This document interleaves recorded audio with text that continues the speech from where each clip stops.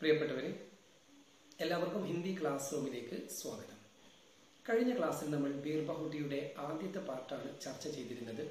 സാഹിലും വേലയും ബീർബഹുട്ടിയെ തിരയുന്നതിന് വേണ്ടി വയലിലേക്ക് പോകുന്ന ഒരു ചെറിയ സന്ദർഭം.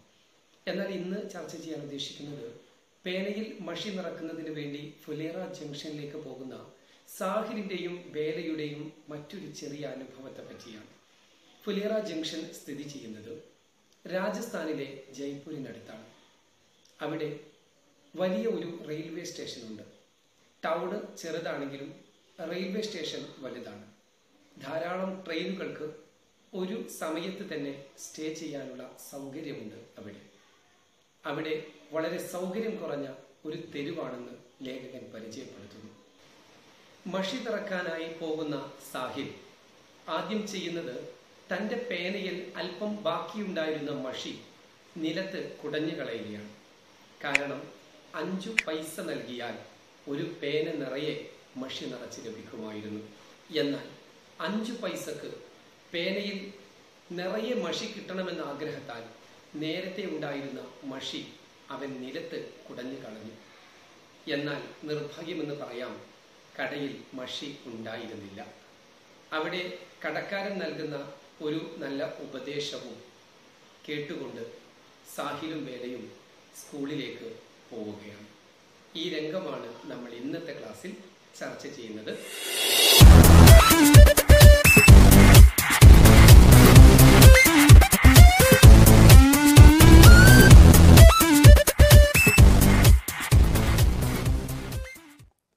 എല്ലാവരും പുസ്തകത്തിലേക്ക് ശ്രദ്ധിക്കുക. ഒരു നോട്ട് പുസ്തകവും പേനയും കയ്യിൽ സൂക്ഷിക്കുക. പ്രധാനപ്പെട്ട വാക്കർത്ഥങ്ങളെ നോട്ട് പുസ്തകത്തിലേക്ക് എഴുതാനും ശ്രദ്ധിക്കുക. നോക്കൂ ഉന്നീസ് സൗ ഇക്യാസി കാ സാൽ ആയിരത്തി തൊള്ളായിരത്തി എൺപത്തി ഒന്നാം വർഷം. രാജസ്ഥാൻ മീം രാജസ്ഥാനിൽ ജയ്പൂർ കെ നസ്ദീഖ് ജയ്പൂർ എന്ന സ്ഥലത്തിന്റെ അടുത്ത് സ്ഥിതി ചെയ്യുന്ന മറ്റൊരു സ്ഥലമാണ് ഫുലേറ ജംഗ്ഷൻ. ഇതൊരു റെയിൽവേ സ്റ്റേഷനാണ് ഈ ഫുലേറ ജംഗ്ഷന്റെ പ്രത്യേകത അവിടെ സവാരി ഗാഡിയാം എപ്പോഴും പാസഞ്ചർ ട്രെയിനുകളും മാൽ ഗാഡിയോംസെ ചരക്ക് വണ്ടികളും. മാൽ എന്ന് പറഞ്ഞാൽ മുതൽ ചരക്ക് എന്നാണ്. മാൽഗാഡിയോംസെ ഗുഡ്സ് ട്രെയിനുകളാലും സദാഭര എപ്പോഴും നിറഞ്ഞു നിൽക്കുന്ന ഫുലേറ ജംഗ്ഷൻ ഫുലേറ ജംഗ്ഷൻ. ഇവിടെ ശ്രദ്ധിക്കേണ്ടത് ഈ സേ എന്ന് നൽകിയത് സവാരി ഗാഡിയും അവിടെയും മാൽ ഗാഡിയും. ഇത് രണ്ടിനും ബാധകമാണ്. രണ്ട് സ്ഥലത്തും സേ എഴുതാറില്ല. പക്ഷേ അർത്ഥം വെക്കുമ്പോൾ സവാരി ഗാഡിയും സേ അവർ മാൽഗാഡിയോംസെ എന്ന അർത്ഥം വെക്കണം. പാസഞ്ചർ ട്രെയിനുകളാലും ചരക്ക് വാഹനങ്ങളാലും സദാഭര എപ്പോഴും നിറഞ്ഞു നിൽക്കുന്ന ഫുലേറ ജംഗ്ഷൻ ഫുലേറ ജംഗ്ഷൻ. കസ്ബേക്കി ഗലിയാം. ഇവിടെ അർത്ഥം വെക്കുമ്പോൾ കസ്ബേക്കി പിന്നെ ഗലിയാം. ഈ ടൗണിലുള്ള തെരുവുകൾ എങ്ങനെയുള്ളതാണ്?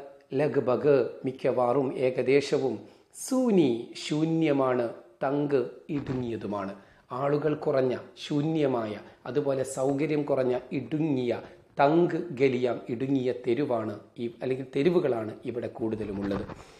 ഗലിയോമയും തെരുവുകളിൽ ഈ സ്ട്രീറ്റുകളിൽ ഖാമോഷ് ഘടെ നിശബ്ദമായി നിൽക്കുന്ന ബിജലി കെ ഖംബെ വൈദ്യുത പോസ്റ്റുകൾ നമുക്ക് കാണാൻ സാധിക്കും. ഖംബോം കെ ബീച്ച് ഈ പോസ്റ്റുകൾക്കിടയിൽ ഗീഞ്ചി വലിച്ചിരിക്കുന്നു വലിച്ചു കെട്ടിയിരിക്കുന്നു. താരോം കി കത്താരയും ഇലക്ട്രിക് ലൈനുകളുടെ നിരകൾ.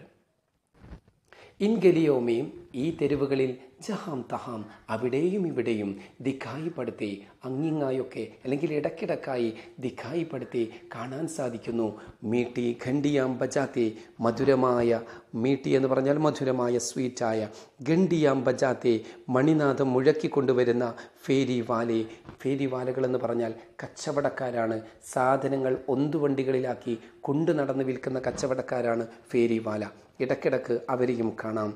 ഏക്ക് അന്തേരി സി ഗലി ഇതൊരു അന്തേരി സി ഇരുട്ടുപോലെ തോന്നിക്കുന്ന എപ്പോഴും അവിടെ ഇടുങ്ങിയതായതുകൊണ്ട് വെളിച്ചക്കുറവാണ് അനുഭവപ്പെടുന്നത്. അന്തേരി സി ഗലിയുമേയും ആ ഇരുട്ട് നിറഞ്ഞ തെരുവിൽ ചെഹ് സാത്ത് ഗധോം കി ഗുറോം കി ടാപ്പോം കി ആവാസേം. ചെഹ് സാത്ത് ആറോ ഏഴോ ഗധോം കി കഴുതകളുടെ ഗുറോം കി ടാപ്പോം കി ആവാസേം. ഗുറോം കി ടാപ്പോം കി ആവാസ് എന്ന് പറഞ്ഞാൽ കാൽക്കുളമ്പ് ആ കഴുതകളുടെ കാൽക്കുളമ്പിൽ നിന്ന് വരുന്ന ശബ്ദവും കേൾക്കാൻ സാധിച്ചിരുന്നു. ഗുറോം കി ടാപ്പും കി ആ വാസയും കാൽക്കുളമ്പിൽ നിന്ന് വരുന്ന ശബ്ദങ്ങളും കേൾക്കാമായിരുന്നു. ഉൻകെ പീച്ചെ ആ കഴുതകൾക്ക് പിറകെ ചൽത്ത നടന്നു വരുന്നു. ഏക്ക് ഒരാൾ എന്താണ് അദ്ദേഹത്തിന്റെ പ്രത്യേകത? ബദൻ ഉഖാഡെ കുംഹാർ.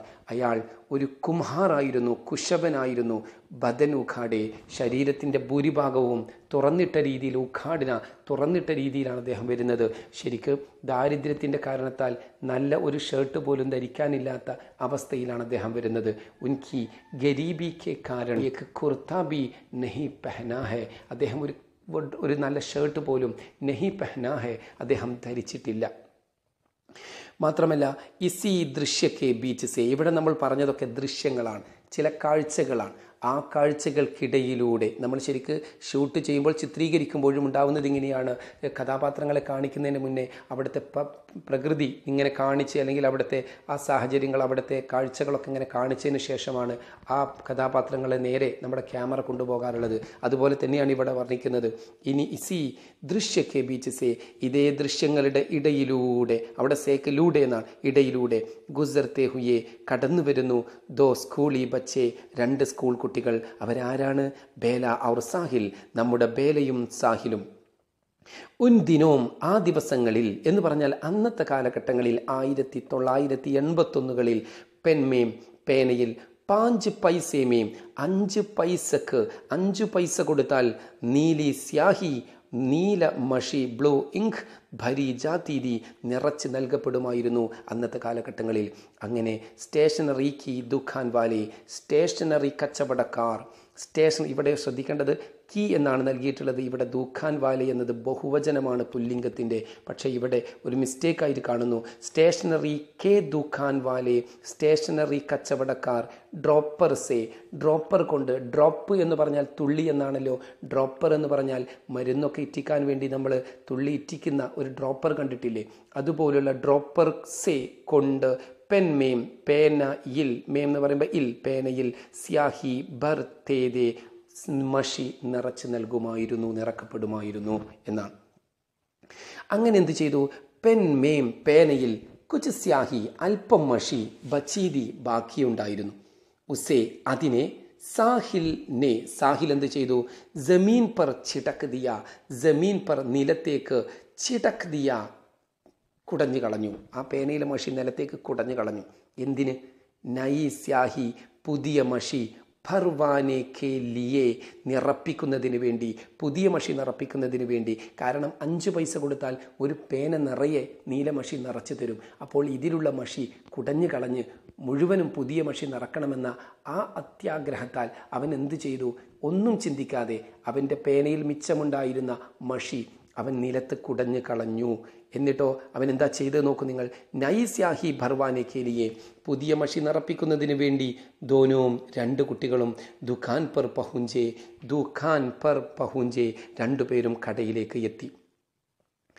ഉടനെ തന്നെ ബേല കടക്കാരന്റെ അടുക്കൽ ചെന്നുകൊണ്ട് പറഞ്ഞു ഏക്ക് പെൻ സ്യാഹി ബർദോ ഒരു പേനയിൽ മഷി നിറച്ചു തരുമോ?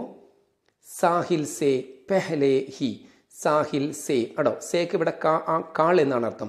സാഹിലിനേക്കാൾ പെഹലേഹി മുൻപേ തന്നെ ബേല നെ ബേല ദുഖാൻ വാലെ സേ കച്ചവടക്കാരനോട് കഹ പറഞ്ഞു. ഉടനെ കച്ചവടക്കാരന്റെ മറുപടി എന്തായിരുന്നു എന്നറിയുമോ?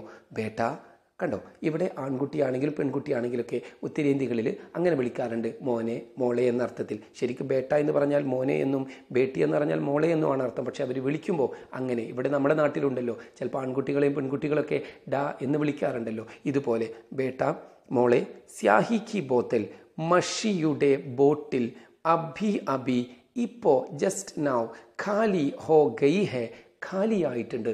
ഖാലി എന്ന വാക്കിനിക്ക് മൂന്ന് ഭാഷയിൽ ഒരേ അർത്ഥമാണ്. കാലി എന്ന് മലയാളത്തിൽ പറയുമ്പോൾ ആകെ കാലിയായിട്ടുണ്ട്. ഖാലി എന്ന് പറഞ്ഞാൽ ഹിന്ദിയാണ്. ഖാലി എന്ന് പറഞ്ഞാൽ അറബിയുമാണ്. അബ് തോ ഇനി അടോ അബിന്റെ അർത്ഥം ഇപ്പോൾ എന്നല്ല ഇവിടെ. ഇനി അബ് ഇനി കൽ ഹി നാളെ മാത്രമേ ഹി എന്നതിന്റെ അർത്ഥം തന്നെ എന്നും മാത്രം എന്നുമാണ് ഇതിന്റെ അർത്ഥം. ചിലപ്പോൾ അത് തന്നെ അങ്ങനെ തന്നെ ചിലപ്പോൾ മാത്രം എന്ന് അർത്ഥം വരുന്നു. ഇതൊക്കെ പാഠത്തിൽ വീണ്ടും വീണ്ടും ആവർത്തിച്ച് വരുന്ന വാക്കുകളാണ് പ്രത്യേകം നോട്ട് ചെയ്യണം. കൽഹി നാളെ തന്നെ അല്ലെങ്കിൽ നാളെ മാത്രമേ മിൽ പായകി ഇനി ലഭിക്കുകയുള്ളൂ. ഇനി നാളെ വന്നാൽ മാത്രമേ ലഭിക്കുകയുള്ളൂ. ലേക്കിൻ പക്ഷേ നമ്മുടെ ബേല പറയാണ് കടക്കാരനോട് ലേക്കിൻ എന്നാൽ ഇസ്നേത്തോ ഇവനുണ്ടല്ലോ യഹ് പ്ലസ് നേ ഇസ്നെ നേക്ക് അർത്ഥം ഇല്ല. യഹ് എന്നതിനിക്ക് ഇവൻ ഇവൾ ഇത് ഇ എന്ന നാലർത്ഥമാണുള്ളത്. ഇവൻ എന്ന ആൺകുട്ടിക്കും ഇവൾ എന്ന പെൺകുട്ടിക്കും ഇത് എന്ന വസ്തുവിനും ഒരുപാട് എണ്ണത്തിന്റെ ഇടയിൽ ഒന്ന് ചൂണ്ടി ഈ പുസ്തകം എന്ന് പറയാനൊക്കെ യഹ് എന്ന് നമ്മൾ ഉപയോഗിക്കാറുള്ളത്.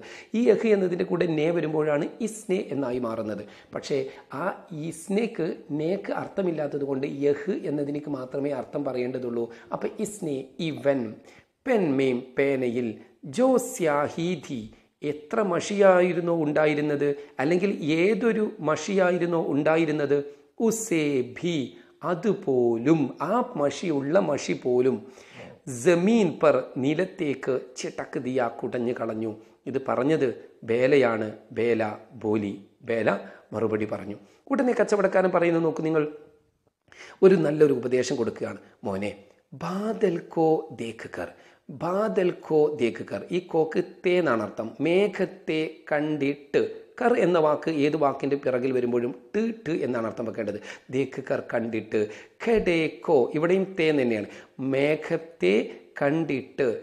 ഖഡേക്കോ കുടത്തെ നഹി ഠുലാന ചാഹിയെ. ചാഹിയെ എന്ന വാക്ക് ഒരു വെർബിന്റെ ഒരു വാ ക്രിയയുടെ കൂടെ വരുമ്പോൾ നം എന്നാണ് അർത്ഥം വരിക. പഠ്ന ചാഹിയെ പഠിക്ക നം ലിഖ്ന ചാഹിയെ എഴുതണം. അതിനു മുന്നേ നെഹി വരുമ്പോൾ അത് ചെയ്യരുത് എന്നർത്ഥം വരും. ഡുലാന ചാഹിയെ ഒഴിച്ച് കളയരുത്. അപ്പം നെഹി ഡുലാ ഡുലാന ചാഹിയെ ഒഴിച്ച് കളയണം. നെഹി ഡുലാന ചാഹിയെ ഒഴിച്ച് കളയരുത്. ബാദൽ കോ ആകാശത്തുള്ള കാർമേഘത്തെ ദേഖകർ കണ്ടിട്ട് ഘടേക്കോ കയ്യിൽ ഘടേക്കോ വെള്ളം നിറച്ച കുടത്തെ നീ എന്തു ചെയ്യരുത്? ഒഴിച്ചു കളയരുത്. നല്ല വെള്ളം മഴ പെയ്യുമ്പോൾ കിട്ടുമല്ലോ എന്ന് കരുതി കഷ്ടപ്പെട്ട് കൊണ്ടുവന്ന കുടത്തിലെ വെള്ളത്തെ ഒഴിച്ചു കളയരുത്. മഴ പെയ്യാനും പെയ്യാതിരിക്കാനും സാധ്യതയുണ്ട്. എന്നർത്ഥം. ദുഖാൻ വാലെ ബയ്യേനെ കച്ചവടക്കാരനായ ചേട്ടൻ കഹ ഔർ പൂച്ച പറയുകയും പൂച്ച ചോദിക്കുകയും ചെയ്തു. കണ്ടോ? കഹ പറഞ്ഞു പൂച്ച ചോദിച്ചു. ഇടയിൽ ഔർ കൊടുത്തപ്പോൾ പറയുകയും ചോദിക്കുകയും ചെയ്തു. നമ്മൾ കുടിച്ചു എന്നതിന് പിയ എന്നാണ് പറയുക. കഴിച്ചു എന്നുള്ളതിന് ഖാന അല്ലെങ്കിൽ അതിന്റെ ഭൂതകാലം ഖായ എന്നാണ് അത് രണ്ടും കൂടി ഖായ ഓർ പിയ എന്ന് പറഞ്ഞാൽ പിന്നെ കഴിക്കുകയും കുടിക്കുകയും ചെയ്തു എന്നാണ് അർത്ഥം പറയാറുള്ളത്. ഉടനെ തന്നെ അദ്ദേഹം അടുത്ത ചോദ്യം ചോദിക്കുകയാണ് കോൻ സീമേ? കോൻ എന്ന് പറഞ്ഞാൽ ആര്? എന്നാൽ കോൻസ എന്ന് പറഞ്ഞാൽ ഏത്? അത് സ്ത്രീലിംഗ വേർഡാകുമ്പോൾ കോൻസി എന്ന് പറയും. എന്തുകൊണ്ട്? കോൻസി എന്ന് കഴിഞ്ഞാൽ അവിടെ പറയാത്തൊരു വാക്കുണ്ട് ക്ലാസ് കക്ഷ. അവിടെ ഹൈഡായി കിടക്കുകയാണ്. ഏത് ക്ലാസ്സിൽ എന്നാണ് ചോദിക്കുന്നത്. ആ ക്ലാസ് എന്നത് സ്ത്രീലിംഗമായത് കോൺസി എന്ന് പ്രയോഗിച്ചത്. ഇവിടെ കക്ഷ എന്ന വാക്ക് കൊടുത്തിട്ടില്ല. അത് ഉദ്ദേശത്തിൽ വരണം. കോൺസി മേം ഏതിൽ ഏത് ക്ലാസ്സിൽ പഠിത്തേഹോ നിങ്ങൾ പഠിക്കുന്നു. ഉടനെ മറുപടി പറയാണ് സാഹിൽ പാഞ്ച് വിമയും അഞ്ചാം ക്ലാസ്സിൽ.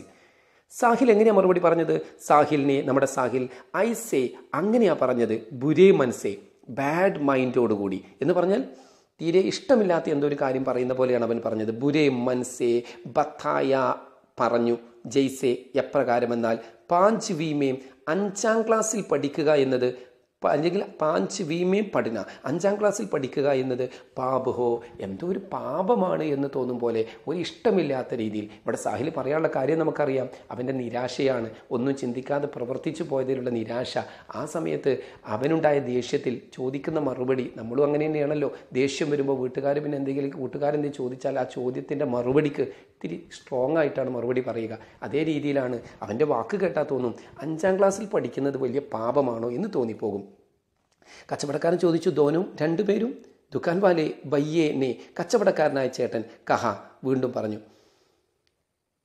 അപ്പോൾ നോക്കൂ ഹാ അതെ ധോനും രണ്ടുപേരും ഔർ ഹം ദോനും കാ സെക്ഷൻ ബി. ഇത് ബേലയാണ് മറുപടി പറയുന്നത്.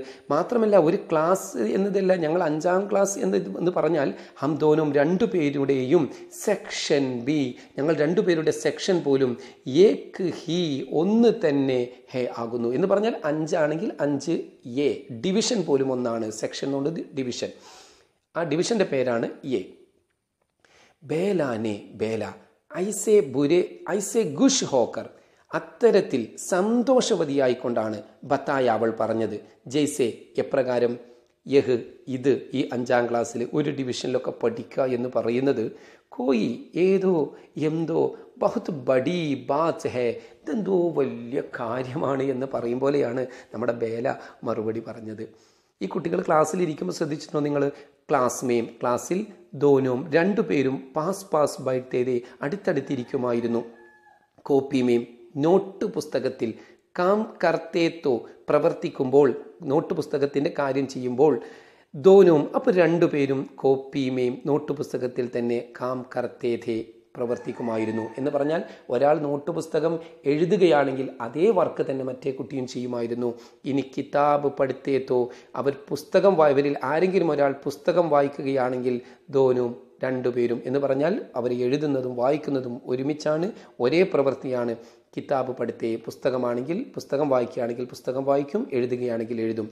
ബൽക്കി മറിച്ച് എത്രത്തോളം പാട് ബി വായിക്കുന്ന പാഠം പോലും ഏക്ക് ഹി പഠിത്തേ ഒന്ന് തന്നെയാണ് അവർ പഠിക്കുന്നത്. ഉദാഹരണമായിട്ട് ഇവിടെ പറയുന്നു ഝാൻസിറാണി എന്ന കവിതയിൽ ഒരു വരി എടുത്തുകൊണ്ട് പറയുകയാണ് സാഹിൽ ഈ വരിയാണ് വായിക്കുന്നതെങ്കിൽ. അത് ഡബിൾ ഇൻവെർട്ട് കോമക്ക കൊടുത്തിട്ടുണ്ട്. അർത്ഥം വെക്കുന്നതിനല്ല അത് മനസ്സിലാക്കുന്നതിന് വേണ്ടി എടുത്ത് പറഞ്ഞതാണ്. ചമക്ക് ഉഡീസൻ സത്താവൻമേം. വഹ് തൽവാർ പുരാനീതി എന്ന വരി അവിടെ ഡബിൾ ഇൻവെർട്ടർ കോമ ക്ലോസ് ചെയ്തിട്ടുണ്ട്.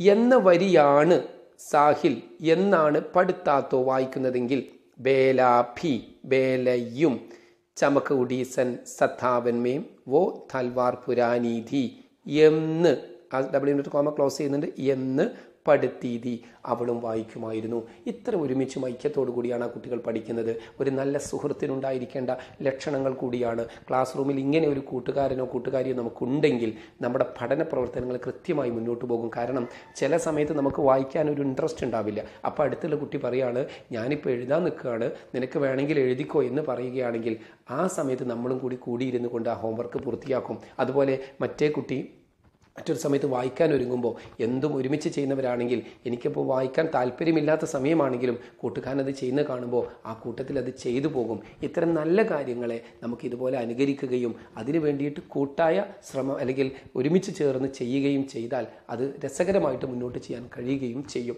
ഇനി അടുത്ത ക്ലാസ്സിൽ നമുക്ക് പറയാനുള്ളത് ഈ ഇവിടെ സുരേന്ദർ മാഡ് സാബ് ബേല എന്ന പെൺകുട്ടിയെ ഉപദ്രവിക്കുന്ന അല്ലെങ്കിൽ ചെറിയ തെറ്റിന് പോലും വലിയ ശിക്ഷ നൽകുന്ന ഒരു കാര്യമാണ് വലിയൊരു സംഭവമാണ് പരീക്ഷയ്ക്ക് കൂടുതൽ ചോദിക്കുന്ന ഭാഗമാണ്. അത് അടുത്ത ക്ലാസ്സിൽ നമുക്ക് ചർച്ച ചെയ്യാം. അതുകൊണ്ട് ഈ ഭാഗത്ത് കച്ചവടക്കാരനും കുട്ടികളും തമ്മിലുള്ള സംഭാഷണം അത് സംഭാഷണമായിട്ടും പടുക്കഥയായിട്ടും വരാൻ സാധ്യതയുണ്ട്. പടുക്കഥ നമുക്ക് മറ്റൊരു വർക്കായിട്ട് എഴുതി കാണിക്കുന്ന രീതിയിൽ തന്നെ ഒരു ക്ലാസ് നമുക്ക് ചെയ്യാം. അതുകൊണ്ട് പിന്നെ നിങ്ങൾ ഇതിൽ നിന്ന് കിട്ടുന്ന വരികളെ ഉപയോഗപ്പെടുത്തിക്കൊണ്ട് ഒരു കോൺവെർസേഷൻ തയ്യാറാക്കുക. അതിലേക്ക് നിങ്ങൾക്ക് ചെറിയ ചെറിയ വാക്കുകളെ സന്ദർഭത്തിനനുസരിച്ച് ചേർത്ത് കൊടുക്കാം. കടയിൽ ചെല്ലുമ്പോൾ നമസ്തേ എന്ന് പറഞ്ഞുകൊണ്ട് തുടങ്ങാം. കടക്കാരൻ ചോദിക്കും നമസ്തേ നിങ്ങൾക്ക് എന്തു വേണം? ആപ്കോ ക്യാ ചാഹി? അല്ലെങ്കിൽ ക്യാ ചാഹി? എന്താണ് വേണ്ടത്? ആ സമയത്ത് വേല പറയുന്ന വാക്ക് നമുക്ക് ഉപയോഗിക്കാം. പെൻമേം സ്യാഹി എക്ക് പെൻമേം സ്യാഹി ബർദു എന്ന് പറയുന്ന വരി പറയാം. ആ സമയത്ത് കടക്കാരൻ പറയുന്നു എന്താണ് മഷിയുടെ ബോട്ടിലൊക്കെ കഴിഞ്ഞു പോയിട്ടുണ്ട് അല്ലെങ്കിൽ കാലിയായിട്ടുണ്ട് എന്ന് പറയുമ്പോൾ അവിടെ സാഹിലിന് വേണമെങ്കിൽ ബാപ്പരെ മേ ക്യാ കരും ഞാൻ എന്ത് ചെയ്യും? അപ്പോൾ കടക്കാരന് ചോദിക്കാം ക്യാ ഹുവാ ബേട്ടെ എന്തു പറ്റി മക്കളെ? ആ സമയത്ത് ബേല പറയുന്ന വാക്ക് നമുക്ക് ചേർത്ത് കൊടുക്കാം. ഇവൻ പേനയിലുള്ള മഷി നിലത്ത് കുടഞ്ഞു കളഞ്ഞു. അപ്പോൾ കച്ചവടക്കാരൻ കൊടുക്കുന്ന നിർദ്ദേശം ബാദൽ കോ ദേക്കർ എന്ന് പറയുന്ന വരി നമുക്ക് അവിടെ എഴുതാൻ പറ്റും. പിന്നീട് അതിന്റെ കൂടെ തന്നെ നിങ്ങൾ ഏത് ക്ലാസ്സിൽ പഠിക്കുന്നു എന്ന് ചോദിക്കുമ്പോൾ സാഹിൽ പറയുന്ന മറുപടി അഞ്ചാം ക്ലാസ്സിൽ. ഉടനെ ചോദിക്കുന്നു നിങ്ങൾ രണ്ടുപേരും എന്ന വാക്ക് അതിൽ ഹിന്ദിയിലുണ്ട് അപ്പോൾ മറുപടി പറയുന്നു അപ്പോൾ പറയുന്നാൽ ഇനി നാളെ മഷി കിട്ടുകയുള്ളൂ എന്ന് പറഞ്ഞുകൊണ്ട് ശരി എങ്കിൽ ഞങ്ങൾ വരാം. അല്ലെങ്കിൽ നാളെ വരാം എന്ന് പറഞ്ഞു പോകുന്ന രീതിയിൽ അഞ്ച് നാല് വിനിമയം ആണ് നമ്മൾ സാധാരണ പരീക്ഷയ്ക്ക് എഴുതേണ്ടി വരുന്നത്. നാല് മാർക്കിന് ചോദിക്കുമ്പോൾ നാല് വിനിമയം. ഒരു വിനിമയം എന്ന് പറഞ്ഞാൽ ഒരു ചോദ്യവും അതിന്റെ ആൻസറുമാണ്. അവിടെ നമസ്തേ എന്ന് പറയുന്നു തിരിച്ച് നമസ്തേ പറയുന്നത് നമ്മളൊരു വിനിമയമായി കാണരുത്.